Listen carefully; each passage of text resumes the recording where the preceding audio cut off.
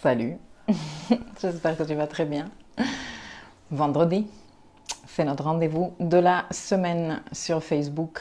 Nous sommes en train d'avancer vers le premier quartier lunaire du, cycle de ce mois solaire euh, verso. Et ce premier quartier, il est très intéressant. Bon, et tu vas me dire, euh, bah, de toute façon, toi, à chaque fois, tu viens nous dire euh, des trucs. Euh, c'est super intéressant à chaque fois, mais franchement, c'est vraiment intéressant parce que regarde. Donc, en nouvelle lune, j'étais ici la semaine dernière, je t'en parlais de cette nouvelle lune. Une nouvelle lune qui représentait comme une graine dans le futur, puisque euh, dans ce jeu où je te propose de, de regarder Capricorne comme le, début et donc le présent en ce moment, euh, ben, Verseau, qui est le signe qui suit, devient tout de suite le futur et ça matche très bien puisque l'année 2021, comme je te dis, avec Saturne en Verseau, Jupiter en Verseau, on va être euh, en train de baigner dans une forte énergie verso. Donc la nouvelle lune en verso a été cette graine de hum, je veux faire les choses différentes. Pourquoi différentes? Eh bien parce que il y avait un contact fort avec Uranus et parce que de toute façon, tu le sais bien, quand tu veux sortir de créer un truc différent de, ce dans quoi tu es en train de, de vivre, euh, ben, il te faut forcément penser différent, agir différent, te comporter différent, même si cette différence te fait sentir inconfortable. Ça fait partie du changement. Et c'est justement de ça que je viens te parler aujourd'hui. Quand c'est la nouvelle lune, ben, moi je te proposais pose-toi les bonnes questions, je te donnais des exemples de questions que tu pouvais te poser justement pour t'emmener à réfléchir, à avoir ces très bonnes idées de quoi mettre en place et de ce dont toi tu as besoin pour sortir de là où tu es, pour changer, pour évoluer, pour arriver là où tu veux arriver. Quoi que ton projet soit, ça ne doit pas être forcément un projet professionnel, ça ne doit pas être forcément un projet euh, super grand, euh, ça doit être juste ton projet et ce à quoi toi tu tiens. C'est ça ce qui compte. Et ce que tu veux construire mm, pour les années qui suivent. Dimanche, se perfectionnera le premier quartier de lune. Donc dans le cycle lunaire de manifestation, le, la nouvelle lune représente un moment où tu plantes une graine, où tu réfléchis à tes intentions, où tu les couches en papier, où tu joues avec ces idées. Et le premier quartier représente un moment où tu prends action. Normalement, quand on nous dit, enfin moi je sais pas toi, mais moi et franchement avec les gens que je parle en général, ça se passe comme ça. Quand on nous dit prendre action, on s'accélère. Genre, qu'est-ce qu'il faut que je fasse? Euh, Comment il faut que je m'organise? Oui, il faut que je mette en place les Miracle Mornings. Il faut que je fasse une formation en time management. Ok, c'est très bien. Euh, tout ça est très bien, mais on n'est pas obligé, passer à l'action, prendre action n'est pas euh, de façon obligée un truc où on s'accélère tous. Et justement, ce premier quartier, il est intéressant hum, à cause de ça. Pourquoi? Eh bien parce que regarde, le soleil continue en verso. Comme le soleil continue en verso, notre énergie vitale, notre focus est dans comment je vais faire pour faire différemment, comment je vais m'y prendre, tu vois? On est dans ça. Mercure est en verso aussi, et de Mercure on va en parler aussi qui est les idées, les idées différentes, les idées nouvelles, les, les propositions, hum, si tu veux, peu conventionnelles. C'est possible que ces jours-ci, tu aies eu euh, soit envie de proposer des choses différentes à des personnes, soit tu aies reçu des propositions un peu différentes. Ah, on est dans euh, essayer de trouver la forme différente, réfléchir à comment on voudrait faire différent. On, on est concentré dans ça, dans essayer de, de faire la différence. Et donc la lune qui en ce moment, en ce moment que j'enregistre cette vidéo, enfin qu'on est là ensemble, elle est dans les derniers 10 degrés de, je sais pas exactement, 21, 22 degrés de, du bélier, euh, va arriver au cours du week-end dans le signe du taureau. Et la lune dans le signe du taureau, elle veut juste être super confortable, tu vois. Là, une, les lunes en taureau sont les top master plus de viens, on va se faire du bien. Viens, on va manger délicieux. Viens, regarde euh, qu'est-ce qu'il est confortable ce canapé. Viens, on va se faire une siestonnette. Viens, regarde quelle, quelle, quelle texture. Tu sais, là, les lunes en taureau savent très bien hum, profiter de la vie. Euh, elles savent se faire énormément de bien à travers ben, le côté sensoriel les, parfums, les goûts, les saveurs, voilà, tout ça, tout ce, qui, tout ce que nous pouvons percevoir avec l'essence. Et c'est une lune qui a tendance à être gourmande, qui aime bien être confortable. Ce n'est pas une lune guerrière et active comme Bélier, tu vois. Et donc, le premier quartier, dans la théorie, c'est euh, un aspect de carré entre le soleil et la lune. Le soleil qui est en verso, en train de dire comment on fait différemment, comment on s'y prend? J'ai plein d'idées. Mercure en verso qui est euh, j'ai plein d'idées, je les note, je discute, je me renseigne, voilà. Et la lune qui arrive en taureau, qui dit écoutez-moi bien, mais non. Et dans cette tension avec le soleil, non, non, non, moi je veux pas sortir. Mais pourquoi? Mais c'est trop dur, mais c'est trop difficile, mais j'ai trop de mal, mais ça ne me donne aucun plaisir. Ce qui est normal. Aucun inconfort ne donne, nous donne du plaisir. Aussi uranien sois-tu. D'ailleurs, maintenant que je parle de ça, euh, je suis en train de réfléchir à faire une vidéo des Very Uranian People. Comme j'ai fait une vidéo sur les Very Plutonian People, où je parlais des top 6 des personnes euh, hautement plutoniennes ou des situations hautement plutoniennes, mais je pense que je vais en faire un. Certainement, je le ferai sur euh, Instagram et après je le mettrai euh, sur euh, YouTube et je partagerai sur mon blog sur les top 6 ou top 5 des personnes hautement uraniennes parce qu'on est en train de traverser un moment hautement uranien, en ce moment. Mais bon, la lune en taureau, elle a peu d'uranien. Ce n'est pas pour rien qu'elle est au carré avec le signe d'Uranus, tu vois. Elle est là, genre, non mais ça me fait pas du tout du bien, quoi, tu vois. Moi, en fait, ce que je veux, c'est qu'on me laisse tranquille, me poser, euh, voilà quoi, les choses. Parce qu'elle est. Taureau est fait pour ça. L'énergie taureau est fait pour ça. Mais nous, sommes plus intelligents et nous pouvons essayer de trouver la façon de faire avec cette lune. Cette lune en plus qui va être qui, qui, nous fait énormément de bien. Hein. Un week-end avec la lune en taureau est un week-end pour se faire plaisir. Pas pour se faire plaisir, genre euh, je termine par me faire du mal tellement j'ai mangé de façon gourmande ou tellement je me suis coinfré de chocolat ou tellement je suis allé loin avec les euh. Non, se faire du bien, c'est vraiment profiter du moment présent, euh, se faire un petit massage, proposer un petit massage au, chéri ou à la chérie, demander au chéri ou à la chérie de, te faire un petit massage, faire des promenades dans la campagne, ça, ça fait énormément de bien, tu vois. Ce genre de choses. Pas nécessairement, enfin certainement pas abuser. Donc la proposition que moi je viens te faire, et euh, une proposition de jouer toujours avec ta dimension mentale.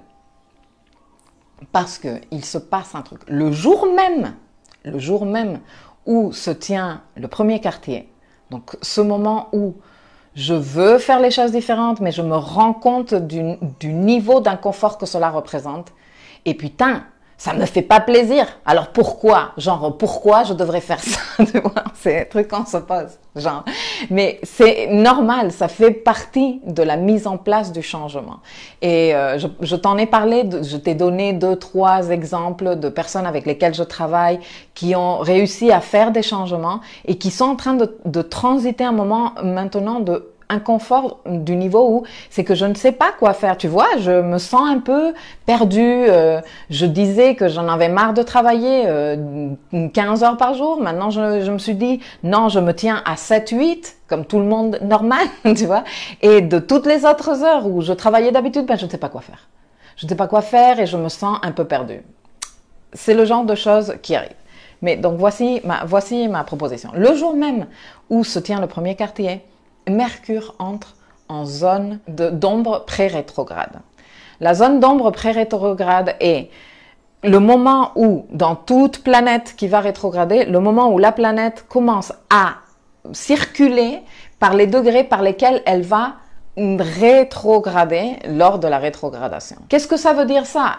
Ça veut dire plusieurs choses. Cela veut dire que à partir du 2 février et, euh, ce jusqu'à la fin de la rétrogradation, je vais faire un article sur la rétrogradation de Mercure en Poisson et je prépare un voyage comme d'hab. Nous allons être en contact avec des sujets niveau mental qui vont revenir plus ou moins tout au long du mois de février et de mars, qui sont quelque part aussi en rapport avec l'antérieur cycle de Mercure rétrograde qui a commencé le 11 novembre, qui a évolué, qui a atteint un pic deux jours avant la fameuse conjonction Saturne-Pluton, et qui maintenant hum, nous, donne des informations sur les choses que quand on a commencé à travailler avec ce Mercure, un Mercure en scorpion qui nous a demandé d'aller profond, où nous avons découvert des trucs qu'on ne pouvait pas s'imaginer, qui ont peut-être déstabilisé quelques parties de nous, une déstabilisation qui était importante, parce que ça, allait nous permettre de faire et de comprendre certaines choses. Eh bien, cela atteint un pic en janvier et maintenant, on termine ce cycle parce qu'on va démarrer un nouveau cycle avec la nouvelle conjonction qui se fera entre Mercure et hum, Soleil lors de la rétrogradation de Mercure en Poisson. La rétrogradation de Mercure en Poisson se passe Poisson verso, les quelques degrés, derniers degrés du verso. 28, 28, 29, les, les, deux derniers degrés du verso. Regarde, ce que cela veut dire. Cela veut dire que notre dimension mentale va être dans le signe des rêves, de l'illusion, de l'inspiration mystique qu'est le poisson. Et va faire quelques petites pointillés dans le signe qui, en ce moment qui représente notre avenir, qui est le signe des idées visionnaires. Mercure, il est déjà dans ce signe, avec toutes ces idées qui viennent en plein dans le euh, mois solaire verso, avec la nouvelle lune qui s'est passée en verso il y a une semaine. Très bien. Il va entrer en poisson. Et quand il entre en poisson, qui peut être le signe de l'inspiration la plus absolue, mais aussi de l'illusion, des fantaisies et des salades qu'on se raconte, hein, il va commencer à avancer là-dedans et il va dire, attends, je repars dans le futur. je sais que c'est un peu fou ce que je suis en train de te dire, mais je, je vais aboutir à quelque chose. Je repars dans le futur je comprends vers où je vais. OK? Et après, je revais dans le domaine du rêve, dans le domaine de l'inspiration, pour me trouver l'inspiration dont j'ai besoin pour fabriquer ce futur, au moins mentalement. Parce que de toute façon, tout part d'ici. Tout part d'une idée. Tout ce que tu fais part de hmm, je vais faire ça. Hmm, j'ai envie de ça. Et si je étudiais ça? Et si je voyageais là? Et si je déménageais là? Et c'est tout part de ça. Ta dimension mentale, elle est super importante. Très bien. Donc ça, on va avoir ça d'un côté. Je viendrai te parler un peu plus sur la rétrogradation de Mercure. Et avec ça, avec ça, on a le moment du premier quartier où je veux faire différent. Donc le soleil, je cherche des options de, de faire différent. Et la lune, je ne veux pas d'inconfort. C'est compliqué, c'est dur, ça ne me plaît pas, ça, ça, ne me fait pas de bien. Comment, comment ça peut me faire de bien? Je viens te proposer un exercice pour ce week-end. La lune sera déjà en taureau, ce sera un moment idéal où tu commences à penser, à te préparer à la rétrogradation de Mercure. Et dans cette vision que tu as de futur, tu commences à te poser une question super importante que tu vas analyser beaucoup plus en profondeur lors de la rétrogradation de Mercure.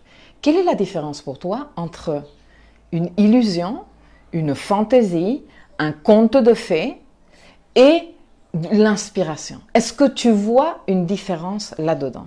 Est-ce que tu peux faire la différence entre rêver, genre me déconnecter complètement de la réalité, ou rêver pour m'inspirer, pour trouver en moi ce, truc dont j'ai besoin pour continuer quand c'est difficile. Est-ce que tu vois cette différence? Bien. Donc là, ce serait la, première partie de l'exercice. Réfléchir, ok, comment moi je fais la différence entre euh, le, rêve illusoire euh, et le rêve qui m'entraîne? Parce qu'on a tous besoin de ça. Tu vois, même les plus forts, même eux ont besoin de croire à quelque chose. Alors qu'est-ce qui te fait croire, toi? Qu'est-ce qui t'encourage dans ça? Est-ce que tu peux faire la différence entre ce qui, ce qui te dit, ce qui te fait sentir genre, euh, par exemple, moi personnellement, je crois zéro à cette image de l'univers comme un truc euh, personnifié, euh, comme une main géante qui me dit tiens, tu veux une bagnole, voici les clés de ta bagnole. Je, crois zéro à ça. Donc, dans mon monde mental, je ne peux pas trouver de ressources là-dedans qui, qui me, qui m'entraînent. Ça n'est pas entraînant moi-même, je me dis, tu vois, non, ça, ça va pas avec moi. Peut-être ça va avec toi. Regarde, je suis en train de faire un défi en ce moment euh, sur Insta. Hier, je parlais de créativité dans ce défi et de ce que la créativité représentait.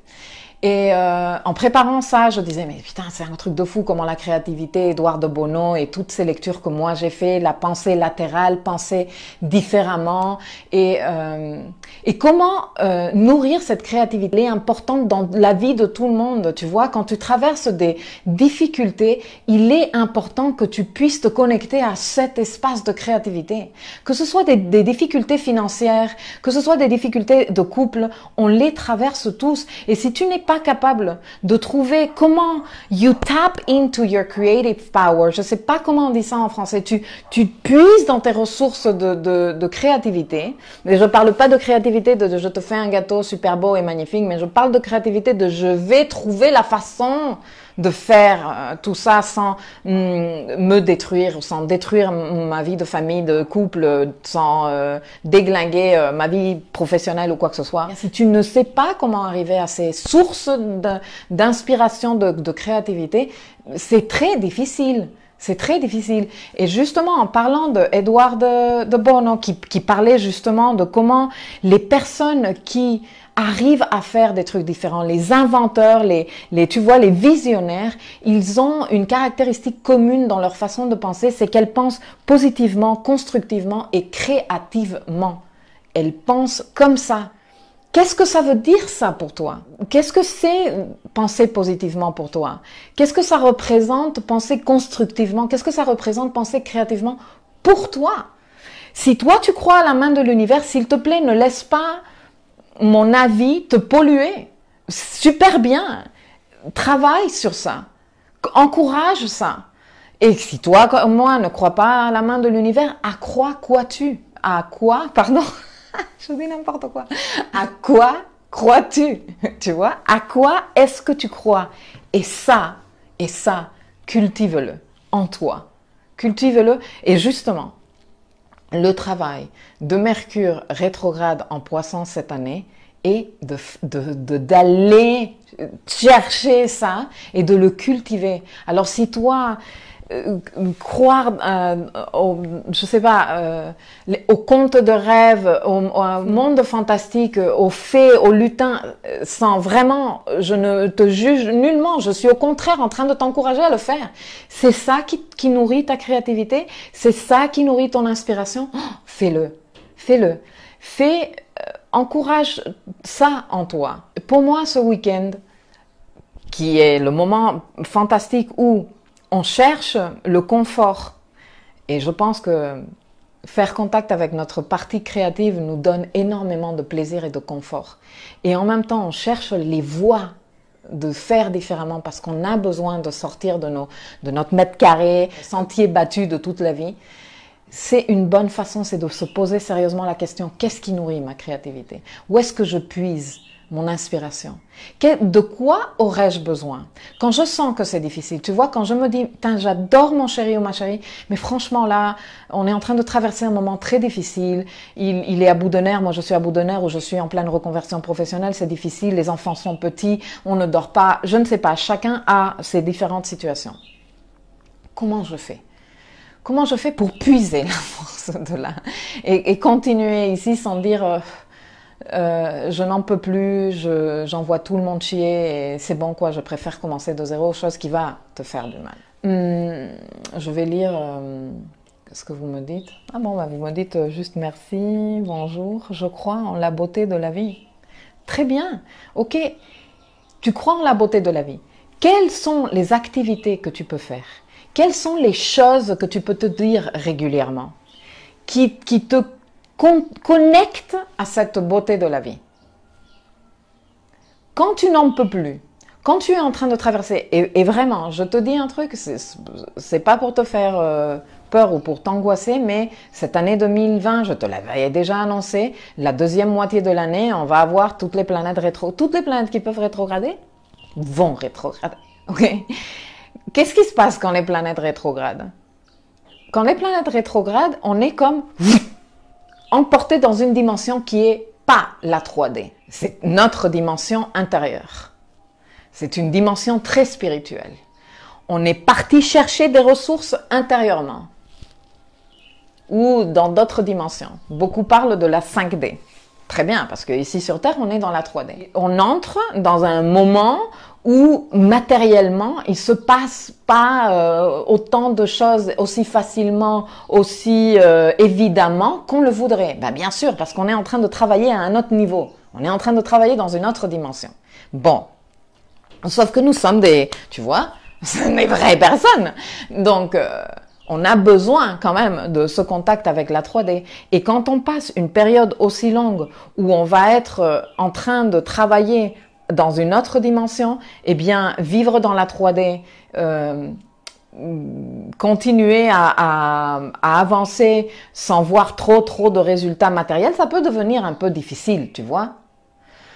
C'est pour ça que tu as besoin de comment prendre, comment tu sors ton penseur positif, constructif et créatif.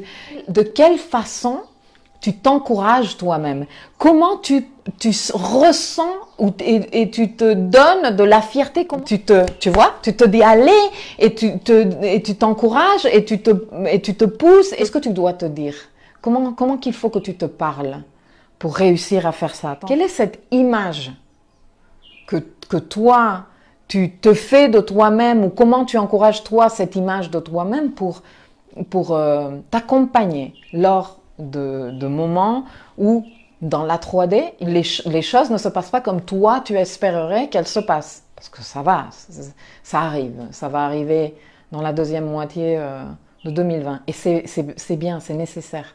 C'est pas que personne ne va gagner un sou, que personne ne va trouver un travail, que personne ne sait. Non, c'est juste que les choses matériellement ne vont pas se passer exactement comme nous, on l'espère, parce que il y a un boulot à faire dans d'autres dimensions. C'est pour ça que toutes les planètes seront rétrogrades. C'est un super bon moment pour réfléchir à ça et pour commencer à créer comme une espèce de stratégie, parce que parce que la stratégie mentale te permet de donner un sens à ce que tu veux faire, à ce qui arrive, à, l'avenir, tu vois?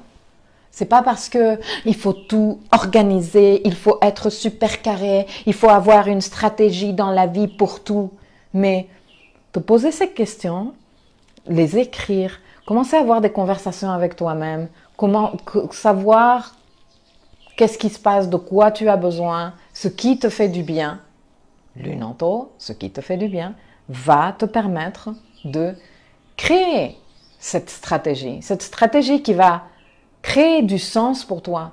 Un sens qui va te permettre de, créer les émotions qui vont te porter à l'action. Tu vois? Parce que les mots, ce que toi tu te dis, dimension mentale, donne un sens à ce que tu fais, à ce que tu penses, à ce, à ce que tu projettes. Et ce sens-là te permet de créer des émotions, des émotions qui vont te porter à l'action. Tu vois Le travail de, Mercure rétrograde en, en, poisson va être 100% euh, dans ça. Mercure en poisson est super inspiré, mais il peut être aussi super nébuleux. Alors, pour que toi, tu ne tombes pas dans la nébulosité et le je n'en sais rien, j'arrive pas à réfléchir, tout est, tout est flou. Connecte-toi avec cette partie d'inspiration. D'inspiration dans la façon de penser, dans les messages que tu te dis. Et commence à travailler sur cette stratégie-là dès ce week-end avec la lune en taureau. Prends tes outils de discussion avec toi-même et commence à parler avec toi-même. Qu'est-ce, qu'est-ce qui m'inspire? Qu'est-ce que j'aurais besoin de me dire? Quand, je sens que je n'en peux plus Est-ce que, le discours de la loi de l'attraction, l'univers, ça me fait du bien? Est-ce que le côté magique euh, me fait du bien? Et commence à construire cette, euh, cette vision, cette stratégie? On va continuer à la travailler avec la rétrogradation de Mercure. Et moi, je te dis ben, à vendredi prochain. Et euh, ben, si tu veux peut-être participer ici en dessous dans les commentaires en disant c'est quoi qui te nourrit, toi, euh, ton inspiration C'est quoi qui te fait croire? C'est quoi qui, tu vois, te, te, te, te, donne les frissons de oui, c'est possible C'est quoi? Et, qu'est-ce que tu peux faire? Peut-être si tu partages tes idées dans les commentaires, il va y avoir des personnes qui vont te lire et qui vont et se dire ah ben j'avais pas pensé à faire ça. Peut-être, je sais pas. Peut-être tu veux partager ça avec nous. Bon. Je te souhaite un magnifique week-end. Fais-toi du bien. C'est un week-end vraiment pour se faire du bien. Et je te dis mm, à la semaine prochaine. Je te lis dans les commentaires tout à l'heure. Ciao